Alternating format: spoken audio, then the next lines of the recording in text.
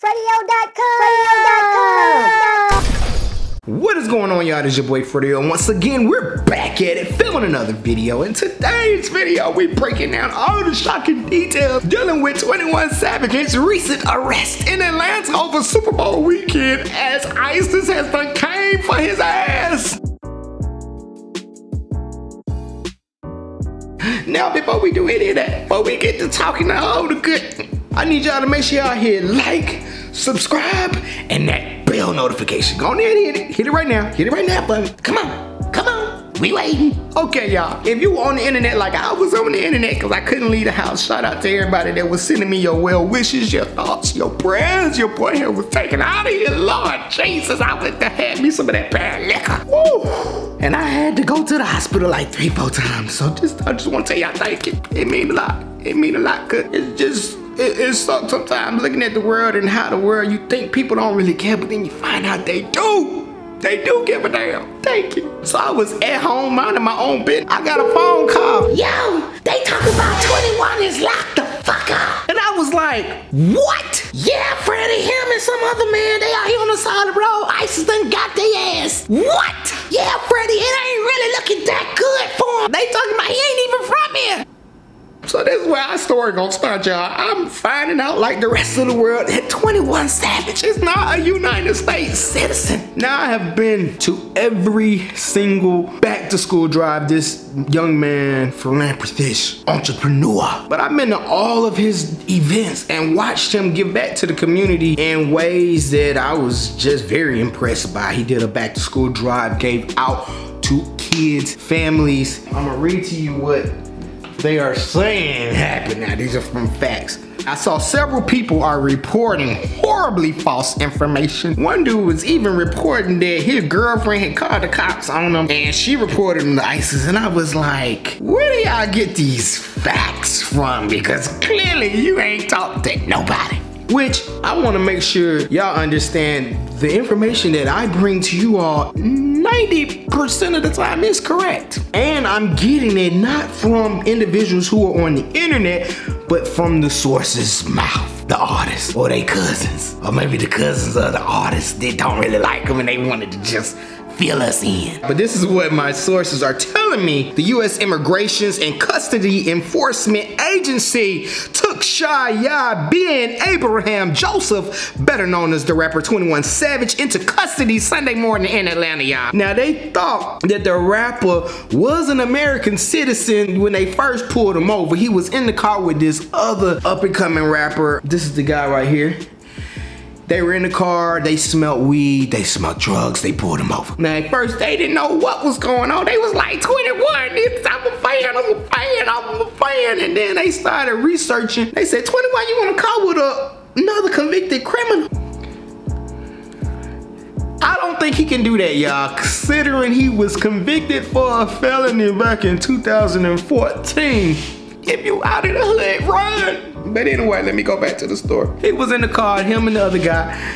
Cops pulled him over, started running background checks, running everything that they can to lock a brother down. Cause you know how they do. do. We're not saying they, but we just say you know how they like to do. Anyway, he was in the car. He was like, I'm good, I'm good, bro. You you you might not be there. Arrested homeboy. Then they came back for 21. They were like, y'all we gonna get you. And they came back and they found out the worst of worse than anything that they could possibly have found out that that man, he been illegal since 2006. 21 who is originally from the United Kingdom has basically overstayed his visa y'all and his visa expired in 2006. He originally came to the US back in 2005 when he got his first original visa. But I'm quite sure he might have come maybe before then, he says.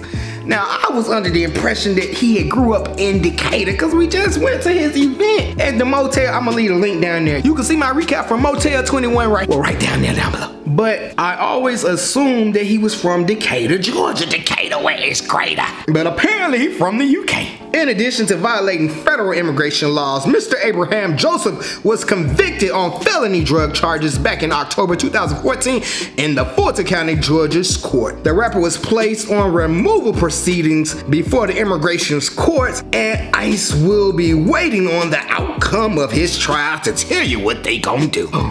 So many different celebrities have reached out and pouring their support for 21, y'all, including the Omigos CEO who was like, yo, I want us to come together. If you got a check, get all your money together. We gonna buy him the best immigration attorney out possible. All kind of rappers across the country reached out to show their love and support. Check out what some of the rappers had to say.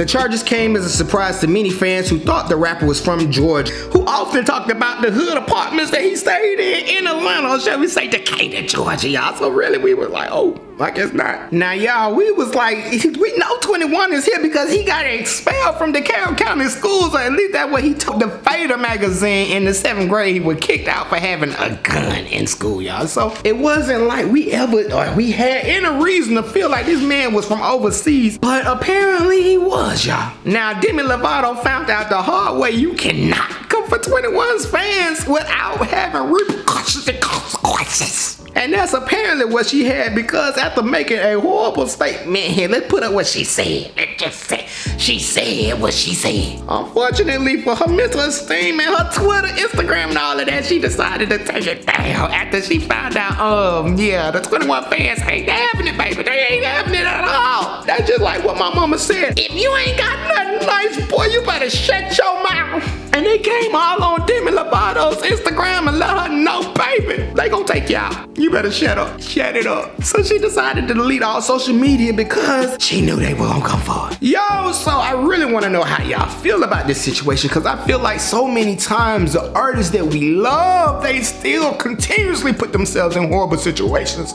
Now, of course, this is a situation that he might not have known if he got here when he was 13 years old. I'm quite sure you're not thinking, you're probably thinking your parents have handled all of that. And so I could see how it possibly could slip your mind that you forgot to fill out your uh, green card paperwork. But I want to know what y'all think, because y'all are the people that matter to me. You know, if you know, then I know that we know together. You know what I mean? But leave me a comment down below. Tell me what you think. Make sure you hit the like, subscribe, and that bell notification. And most importantly, y'all, I need y'all on FreddyO.com, F-R-E-D-D-Y-O.com, baby, every single day of the week. All right, we out, we out, we out. But leave me a comment. I need to know what you're thinking, how you're feeling, if you're really here. I love y'all. We gonna make some more videos. We back. We feeling better. And we gonna keep it blessed. All right, we out. Make sure y'all leave a comment. All right, we out. FreddyO.com.